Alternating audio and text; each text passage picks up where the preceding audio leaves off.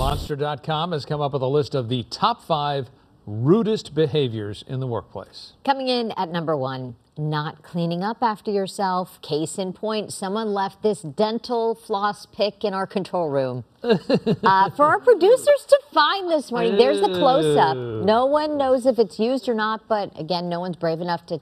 Oh, Oh. Taylor's saying it's used, and no one's brave enough to touch it. So they're just going to walk around it all morning. Number two on the list of rude behavior, gossiping. Rounding out the top five, using inappropriate language, being unresponsive to messages, and consistently being late to meetings. The job website polled more than a thousand U.S. workers for the survey.